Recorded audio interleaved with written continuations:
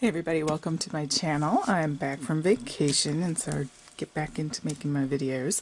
I had a request for one that is the faux front envelope idea that I got from another YouTuber that I have. If you want to check out that video, I will try to remember to leave the link.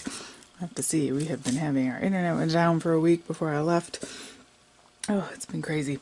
Uh, anyways, so we have a 5 by 7 envelope, and essentially what we're going to do is decorate the sides of the envelope, and then, then we're going to make some flaps that open up. And you can do this in any theme, you can do it with any color. I just grabbed this one because it went with my Prima. I went on vacation up north to uh, the UP, actually, and the colors were just beautiful. And so I have a 5 by 7 or envelope that fits a standard 5 by 7 card. So the actual envelope is 7 and a quarter by 5 and a quarter, like this. So I cut a piece of paper down, fit on top of that. So we're just going to start by going ahead and gluing that down. And then this will serve base for all of the things that we're going to do. Now for this side, the original envelope that I used had a straight um, thing there, and this one has a, so we're going to have to do a bit of a tracing. Then you need a piece that flips. You need a piece that flips up, and then you need two pieces, or one piece that flips out, and then a pocket. Not that you have to do it this way. So I used, I had the journaling card set. Oh, look, I've got the name right here. Uh, Amber Moon. That came out last year, I think. One of those, but you could use paper from the paper pad. And what you want, I'm going to have to trim that just a bit, I think make that a bit shorter here. Um, and then my other side, and it's got this sort of antique washy thing there. So I'm just going to see here. How, and then I'm just going to use a circle punch to go ahead and make a little, that way our pocket is, um, you know, easier to slip things into. Okay, and then this is going to go uh, like this. Your hinge for this. So this is the thing that is, I got paper everywhere, don't I? Grab like a little strip that's an extra piece like this one is and as long as it's the same size then you can go ahead and score down the middle that's going to be our hinge so what we're going to do is glue that down and then that'll open and close. So we can go ahead. I think I'm thinking too hard. When I made the first one and showed it to you on the video, I just was putzing around. now that I'm having to think about it, I'm probably being more confusing. Alright, so we're going to glue that. Okay, so you see how that's going to work? That is going to be our hinge.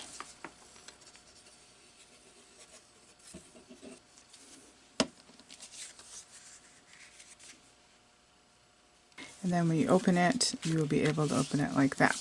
Then we're going to put a pocket in here. But my original one I put parchment there. So I made the pocket out of parchment which I liked. I like how that looks. Like the polka dots around there. So we're kind of making a backing paper here if that makes sense. Depending on what paper you're using you may not have to do this step obviously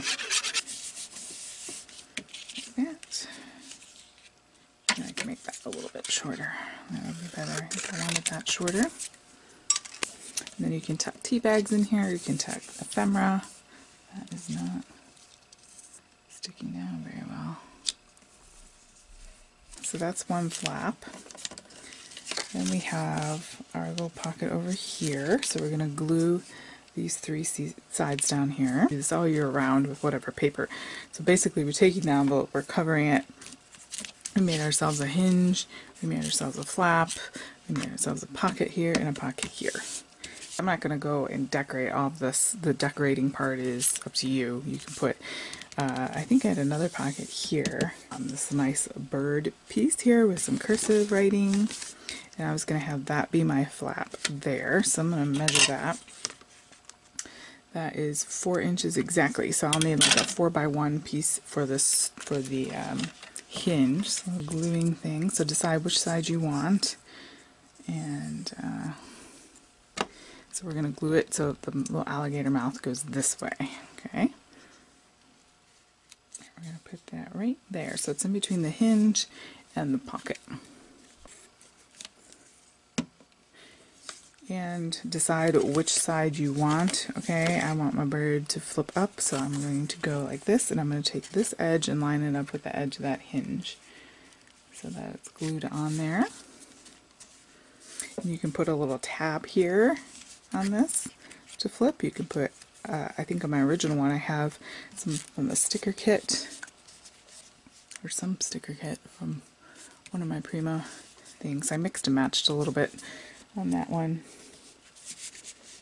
Okay. So there you have uh, that side. So let's take a look here. When it's all closed, you're going to decorate. I would put like a hinge here. You're going to have stuff tucked in here. Let's tuck something in there for the sake of illustration. So you can go like that, or if you want it underneath the flap, you can tuck that in like that. You can put a little pocket here, or you could put pictures here. You could put journaling space. You can decorate this outside, and then this flap goes like that, and then you can put, you know, a little hinge here. Um, I also had like a metal key with some lace there as well. So let's take a look at the back side. So now you have this situation here. You can decide whether or not you want this aligned, um, or you can do some inking on here or some stamping. Um, I think I'm not going to do that. I'm going to get my paper pad. And by the way, to keep this closed, I didn't need a magnet with mine. You could, um, you know, wrap some ribbon around here. You could put a magnet um, closure, but I, I don't know if I would do that. But um, I made sure my little latch was heavy and it kind of weighted it down. It was fine. So uh, whatever floats your boat there. Okay, so with this one, we also want it to cover the whole back. The only difference is, is we're going to cut out um,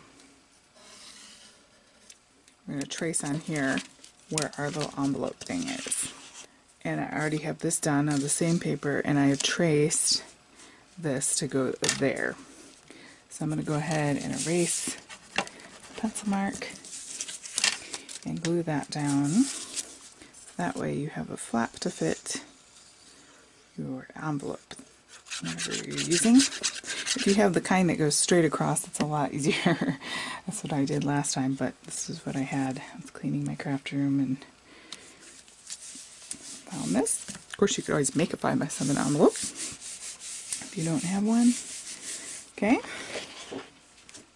All right, so we're going to use that piece to go ahead and um, trace this.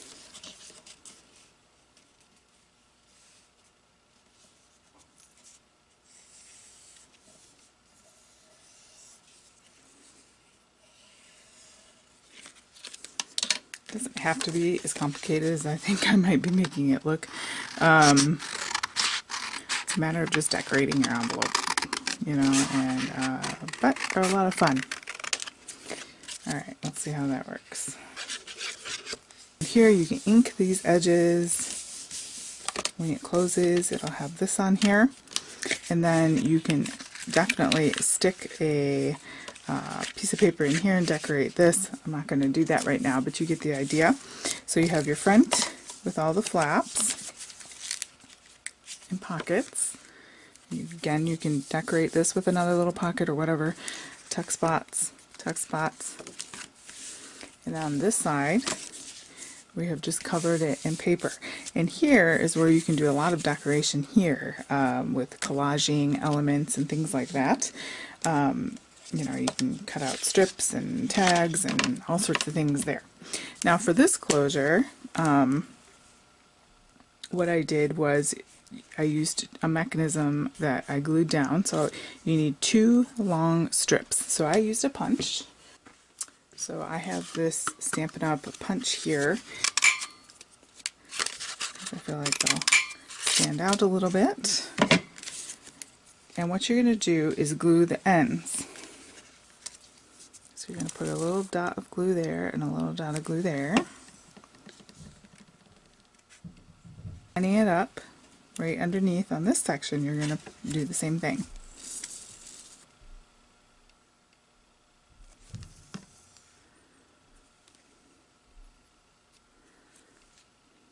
You don't want them too terribly far away.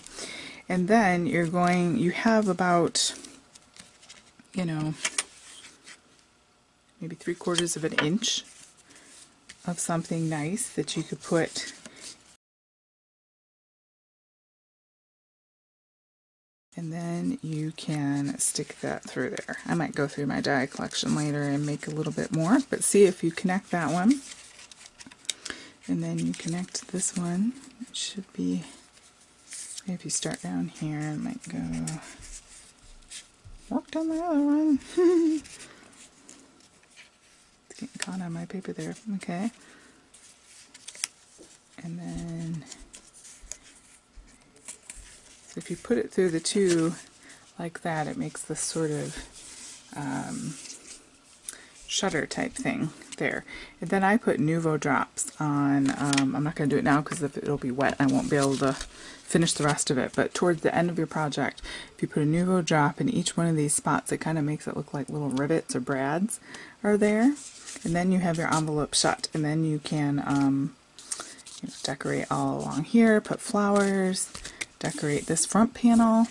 I hope that helps. I hope that wasn't too confusing. The whole idea there is uh, flaps that open and pocket and then you can decorate and add flaps and little tuck spots any which way you want. But that's the general method.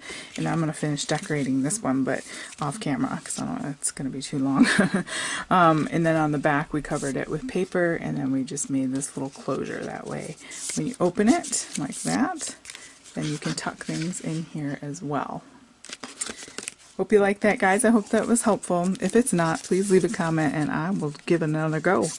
All right, guys. Thanks so much. Have a great day.